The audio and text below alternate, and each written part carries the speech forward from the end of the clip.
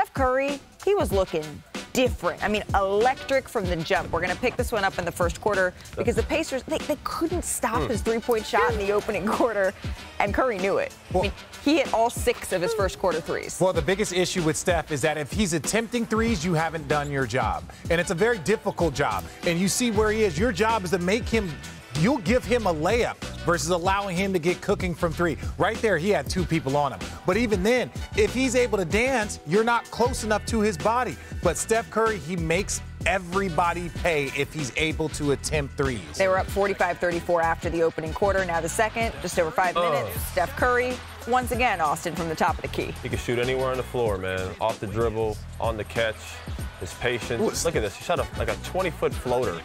I'll take that shot over a three any day. And on the flip side with the Pacers, that's this is the reason that they're not going to be able to elevate Uh. and be uh, actual threat in the Eastern Conference. They don't play defense. They one-sided. Well, that was All Curry's offense. 10th 100%. three of the night. He finished with 42, 11 of 16 from three in the Warriors win.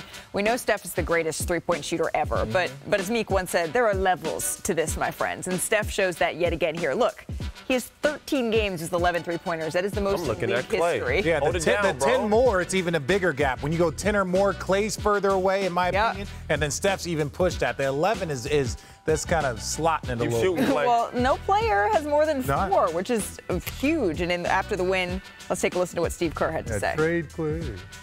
we had a great start to the season, and then obviously things, you know, kind of went uh, went haywire. But um, this feels like the best version of us. You know, just the, with the starting lineup playing the way they are, um, bringing guys off the bench who are, are giving great energy and effort and and um, execution. And yeah, it's uh, it's a definitely a nice run that we're on, and um, you know, we gotta gotta keep keep carrying it forward. So let's do some little glass half full here because the Warriors, they've actually started to play some pretty good basketball as of late. It lines up with Draymond Green getting moved back into the starting lineup. And over that span, the Warriors, they have looked like their hmm. dynasty, really dynastic form from the mid 2010s. You can see the numbers there. So, Brian, are they starting to move in the right direction? Don't tell anybody about this, especially here in LA. Mm.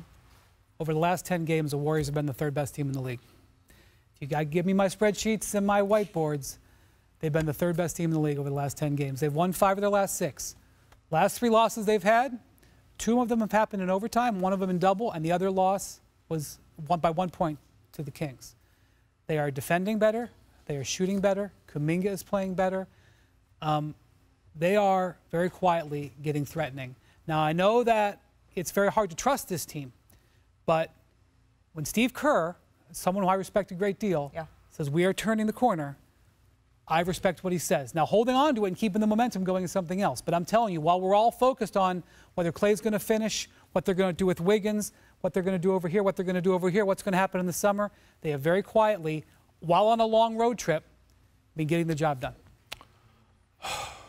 Let me apologize to Steve Kerr because I've been very critical of him over the last. Now it was warranted, so let me. Get, it was warranted. Okay. But Respectfully, I was right, but still uh, apologize? Yeah, but okay. a little bit because I, I kind of overdid it a little bit, which is cool, right? But at the end of the day, here's the thing.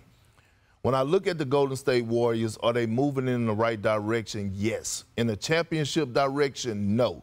But as far as their youth movement, hell yeah. Because it was a point of time where we could actually sit up here and say, what do these young guys actually got to offer? Like, what's their, like, we were wondering, like, what is uh, Kuminga is going to be in the league? What is go- like we were wondering that. Like you sitting up here saying this, but you were the same one uh, making these faces, but you were the same one arguing with me about two months ago about how low his IQ was. No, and that no, they no, no, couldn't- no. I, never, I didn't say. No, I didn't no. say, basically, I said he 'cause didn't I- have 10,000 Okay, hours. I didn't say okay, he had a low but, IQ. Okay, but what I'm saying is, you were sitting up here. You were sitting up here with your face, Yeah. fixing your face when I, was begging for You're more. supposed to be apologizing right When now. I was begging Friday for more Kuminga, you was acting like I was saying something wrong. If Wiggins didn't forget how to play basketball, he would still be No, on the if, starting no, lineup. if Draymond, if here, bro. Draymond wouldn't have got suspended, Agreed. it- So a bunch of but so- accidental no, things no, happened. but it, but it took that to open the eyes of Steve Curtis to Yeah, show it the took world. multiple suspensions, and it Oh, took so- it took multiple suspensions, and it took an individual. So what forgot- direction? it took So what direction? What I direction are they moving in? Can I finish? You didn't let me Can finish. can What direction are they moving in? I, am going to tell you if you Go ahead. To, okay. Go ahead. It took this. And once these guys, once what happened? Wiggins has been playing better basketball. Yep. Draymond is finally back off of which really feels like a first half of the season suspension. And we know the numbers when Draymond is playing, the numbers for their team defensively, offensively. So now Draymond is back. He's in the starting lineup. He has a better, he has a much better group. So now Kuminga is playing better basketball. But if the all-star starter in Wiggins didn't forget how to play basketball for 18 months, Kuminga would still be where he is, and that's coming off the bench, averaging seven, eight points a game. It was a eh. bunch of things that gave him the opportunity. But will, will the, if, if, don't make it seem like he no, just pushed no, over no. these guys. It gets a little tougher. Their opponent, Indianapolis, is not exactly the Phoenix Suns. No. So it's time now for setting the pick, brought to you by ESPN Bet, the official sports book of ESPN, because the Suns, they are in Golden State. Who are you taking in that one, Perk? I don't know. I should have took off today. I'm, yeah, I'm gonna take the I'm gonna take yeah. the Phoenix Suns. You're gonna take the Phoenix Suns in that one, Richard. Oh, I'm just gonna go opposite anything he says. Okay, so you're taking the Golden State Warriors, yeah. Brian. I want to take the Suns because it's a come, homecoming game for the Warriors, and usually don't play coming off the trip. But I think I think Steve Kerr's convinced me the Warriors are going to win this game. Okay, Austin. Yeah, both teams are playing really well. Um, I'm going to stick with the Warriors, though. You know what? I, am hoping that this is the beginning of them putting a run together and getting back into it. Well, Brian changed his pick. pick. Richard changed because also pick. Booker is questionable to him. But the team who arguably improved the most, oh yes, that would be the New York Knicks. Because before acquiring both Boyan Bogdanovich and Alec Burks, New York's odds to win the title they were 25 to one. That's all according to ESPN Bet. Those odds they went all the way down to 18 and 1, by far the biggest change in the entire league. But that's not all orange and blue skies all the time right now in the Big Apple. Because remember, our Adrian Wojnarowski reported yesterday that OG Anunoby, he had surgery to remove a loose bone fragment in his right elbow and will miss a minimum of three weeks. You can take a look here. Some key players missing for the New York Knicks right now. That actually amounts to over 80 points per game. Right?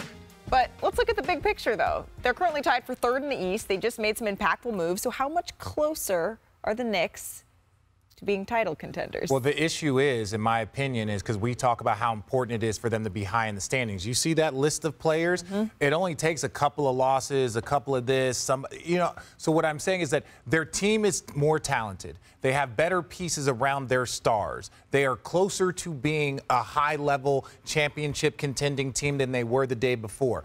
Right now, which we know to be key, they've got to be in one of those one, two, three, like in that one, two, three spot. If they drop down, in my opinion, two. They need if, to be two. If they drop down past that, then they got to go either a Milwaukee and a, you know what I'm saying? The path gets exponentially harder. And if you're in that spot, your odds drop right? So it, to me, they are in a much better spot than they were last uh, last night or two nights ago.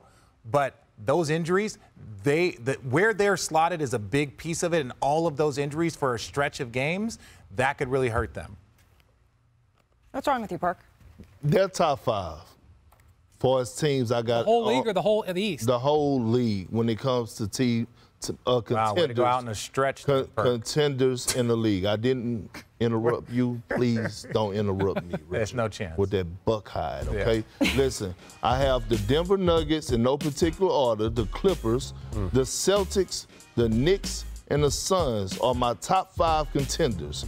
That is what they are right now. No matter what. Okay, I feel like they're going to weather the storm throughout this stretch while they're dealing with injuries. But when they get healthy, they're actually they're going to turn into the storm, and they're going to run off 10 to 15 games in a row, and we're going to be oh, back to. What? T- with, okay, they just look, ran off nine okay, just without making a trade. Look at this. Look at this group. So if you bring that back up, if you're without, in the East, if you're those teams two through five, there's not that much difference. Look at Cleveland, Milwaukee, New York, Philly.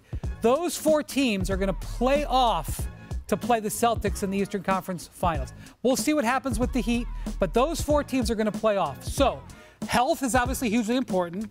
And then, secondly, who can get home court? That's why that number two seed is extremely important. Yeah. The number two seed is more important than the one seed. Because if you have the two seed, like think if you're Cleveland. Cleveland, we know, had trouble getting out of the first round. Yeah. If they get the number two seed, that means you get a play in team. And if you get through the first round, you get home court in the second round and potentially in the big matchup in that 2 3 matchup. Yeah. So, what New York needs to do is weather this storm, keep their situation alive to get that two seed. That two seed is a huge fight. It's probably the most important amongst all the top seeds in both conferences. Who wins the two seed in the East hmm. is the real battle, and the Knicks are into it, but they got to manage these injuries. I think that's a great point. Uh, them getting home court advantage would be huge for them. Yeah. Uh, the problem is they do have some guys out pending injuries. We'll see how long that takes. It does help that they got Burks, Bogdanovich, guys who can help score, make plays. The Knicks are a good team. Um, they are a top-tier team. I think if any time with the drop of Embiid out and with Milwaukee figuring its, its, you know, its issues out, this is a team that could really contend and do something.